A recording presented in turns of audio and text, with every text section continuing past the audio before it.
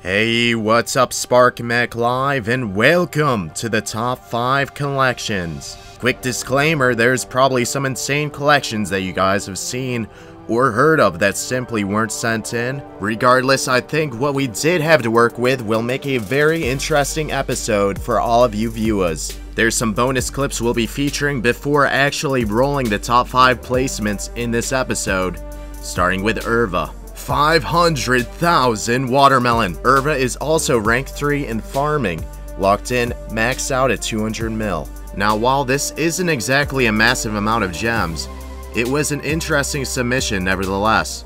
Corndogs met up with Collect Gems who as you guessed it, collects gems. There's a grand total of over 100 mil here, which to the average player is quite a bit considering this gathering appears to not be crafted into anything anytime soon. Logging is up next with his crazy amount of L's. You'll notice the main stack of 826k Slayer's Respite.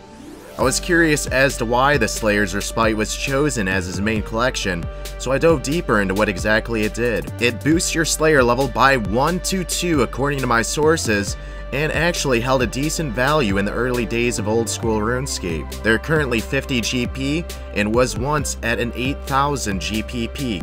Hey Sparc Live, I was just gonna submit my collection. I wasn't planning on it because I felt there's people in the game with superior collections, but this is taking quite the time.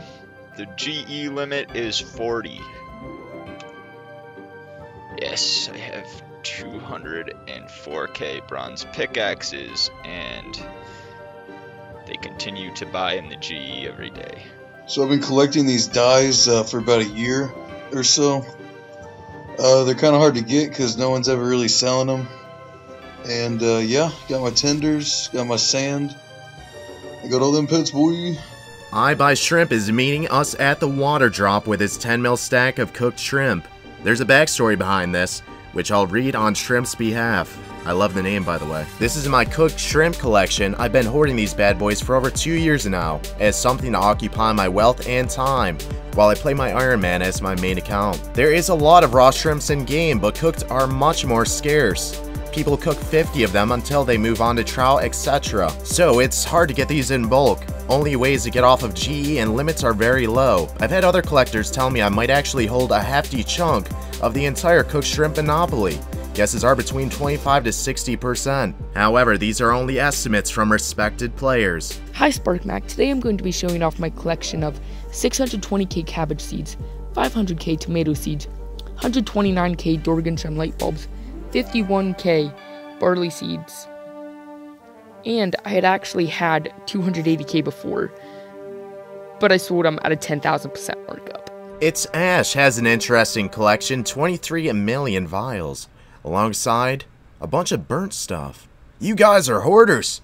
Hey Sparc Mac, I wanted to go ahead and show off my collection. I've been collecting for about 13 years. It's been a while since I logged onto RuneScape, but I wanted to show this one off.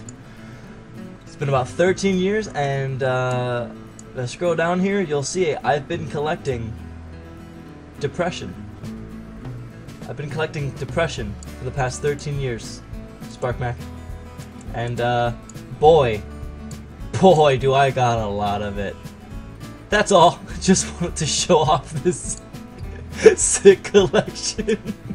Hey dude, uh, it's me, Bird. Uh, I, this is my this is my only collection. It's just, it's just, it's just a fuckload of bananas.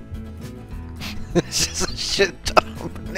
Up next, we have Black Mace, with over 73,000 Black Maces and 1 million tomato seeds. The star of the show here is obviously the Maces in my opinion, as the limit to these are 125 per 4 hours. These cannot be smith, they can only be acquired by two NPCs known as Dark Warriors and Cyclopses.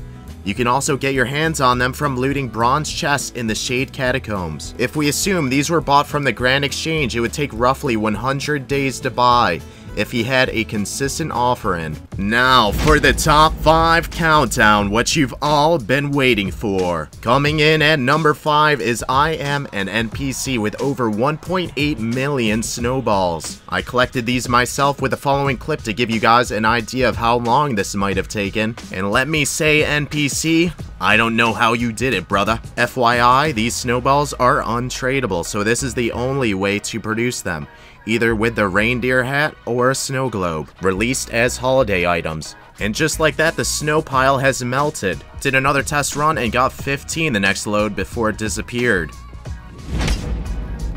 Number 4. Dead Scare has 84 million shafts alongside 37 million javelin shafts. Dead says this took over 4 years to amass, with the buy limit being 7k per 4 hours. Taking the number 3 slot is Sun, with 1 million Rotten Tomatoes, which is a non-GE item. They were also collected before the GE was released, he says. These specimens were acquired through the Duel Arena shop, although you can also get them from various crates throughout RuneScape. Number 2 COTW with the only collection that actually has quite the use and could be sold relatively easy. 461,000 Fordos Prey Potions are a little over 10,000 each with the current prices, so that's 4.6 billion. Limit on the potions are 2,000 per 4 hours, so those definitely took a while to collect. It's also the most expensive collection by far that was sent in. There's roughly 1 bill in Ranarrs, 650 mil in Snapegrass, and 800 million in unfinished Ranarr potions. All this stuff is worth a grand total of over 7 billion. This better not be edited, brother. Because there was no price check attached to this clip.